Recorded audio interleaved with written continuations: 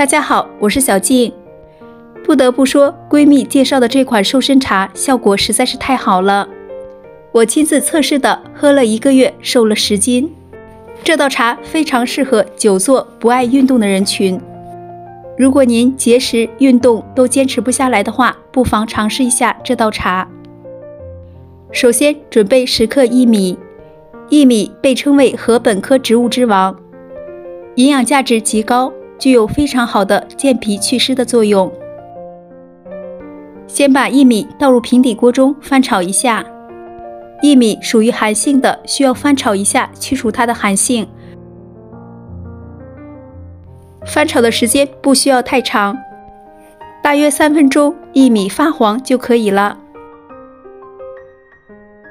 薏米炒好之后，直接放入养生壶中。再加入约一千毫升的纯净水，先把薏米煮上十五分钟的时间。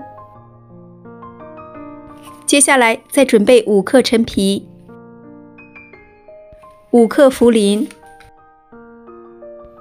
加入清水把食材清洗干净。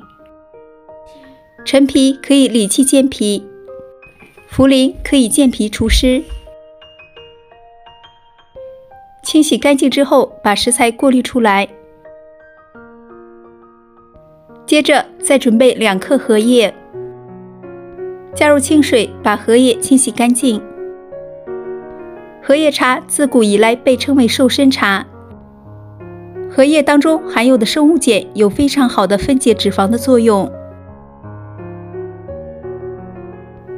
荷叶清洗干净之后，把它也过滤出来。薏米煮上十五分钟之后，就可以把其他的食材倒进来了。需要注意的是，荷叶属于寒性，如果是寒性体质的话，可以少加一些荷叶。这个茶不仅可以减脂瘦身，还可以健脾祛湿，对身体也有非常好的调理作用。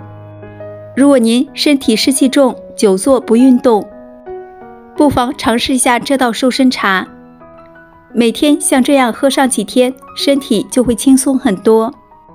喜欢的朋友可以收藏起来试一下。今天就分享到这里了，我们下期见，拜拜。